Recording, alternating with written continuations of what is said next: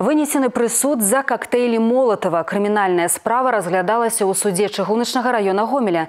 Інцыдэнт адбыўся летась 10 жніўня падчас пратэсных акцый. Фігуранты трое маладых людзей, адзін з якіх непаўналетні. Коротко нагадаем сутнасць здарэння. Абвінавачаныя набылі бутэлькі з запальнай сумесю і пачалі шукаць аб'ект, падпал якога мог справакаваць масавыя беспарадкі.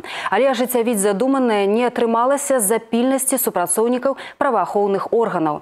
Каб пазбегчы затрымання адзін са злаўмыснікаў кінуў коктейль молатава ў бок міліцыянераў. Падчас папярэдняга расследавання і судовага пасяджэння ні адзін з абвінавачаных віну не прызнаў.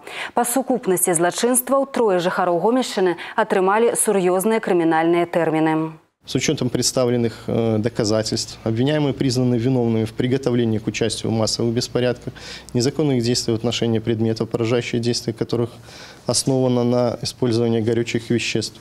Один из них в угрозе применения насилия в отношении сотрудников ВВД, еще один в вовлечении несовершеннолетнего в совершении тяжкого преступления. Обвиняемому за совершение указанных преступлений судом окончательно назначено наказание на срок от 5 до 8 лет лишения свободы с отбыванием в колонии усиленного и строгого режимов, а не совершеннолетнему воспитательной колонии. Обращаясь ко всем гражданам, хотелось бы еще раз напомнить о неотвратимости наказания и необходимости соблюдения законов Республики Беларусь.